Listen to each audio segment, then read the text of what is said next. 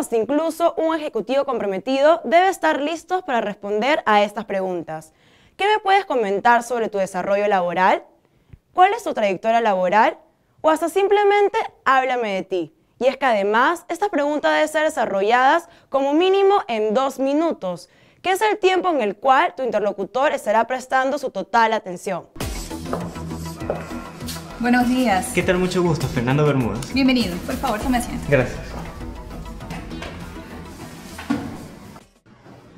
Fernando, mucho gusto en conocerle. Gracias por su tiempo y por venir a asistir a esta entrevista.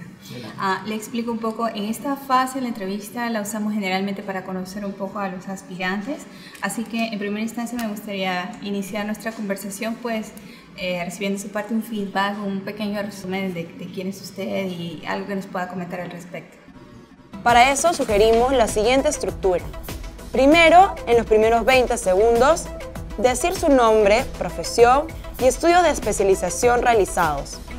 Bien, vivo desde hace cinco años aquí en Guayaquil. Okay. Mis padres viven en la provincia de Los Ríos y actualmente estoy terminando la carrera de Ingeniería en Petróleo en la Sport. Ah, genial, felicitaciones. Gracias. Ah, un punto, y ya entrando en materia, un punto eh, muy importante para nosotros eh, que tomamos en consideración con todos los aspirantes al cargo es eh, validar cuál es el conocimiento que tienen respecto a nuestra compañía. ¿Usted nos puede comentar algo al respecto? De lo que es su empresa, me siento muy identificado y me gusta la misión que ustedes tienen.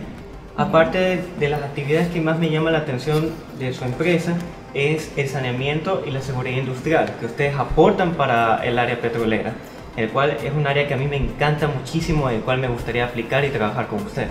Ok, ¿y cuál es tu experiencia en ese campo?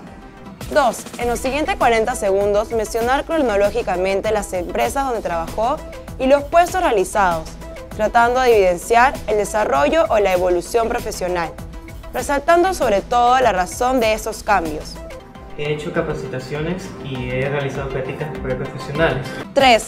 Los otros 40 segundos deben utilizarse para explicar algunos logros importantes, sobre todo de los dos últimos trabajos o en las áreas en las que quiere desarrollarse en el futuro. De cómo he aprendido cómo diseñar pozos petroleros, eh, también a estimar los riesgos que esa operación concluye. También he aprendido eh, a realizar la gestión para realizar los trámites para obtener los permisos para poder perforar un pozo. También de, gracias a estas prácticas profesionales he, estado, he hecho trabajo en equipo. Lo que quiere decir que he dirigido a varios contratistas para lo que es la elaboración de pozos. Ah, Ok, me parece excelente que tengas esa experiencia, eso nos colabora un poco en la parte de la integración de los aspirantes al cargo como tal. Ah, un último punto, quisiéramos saber cuál es tu expectativa con nosotros en esta aplicación. La presentación de dos minutos viene a ser como nuestro comercial personal. Debe ser mencionado con entusiasmo y energía, pero sobre todo con mucho orgullo y satisfacción por el éxito obtenido hasta la fecha. Bueno, primero me encantaría ser parte de esta gran empresa porque me gustan mucho las actividades que ustedes hacen y como segundo formarme tanto profesionalmente como ustedes, obtener más experiencia, ser más capacitado y así poder yo desenvolverme mucho mejor. Ok, considero que eso es todo por el momento. Ah, nosotros vamos a evaluar eh, tu perfil como tal y vamos a contactarnos en una segunda fase de lo que es este proceso de entrevistas. Ahí Ok, listo. Muchas gracias por tu tiempo. Encantada de conocerte. Igualmente, mucho gusto. Así que ya sabes, prepara tu presentación y te animo a que practiques varias veces para que así salga fluida y natural.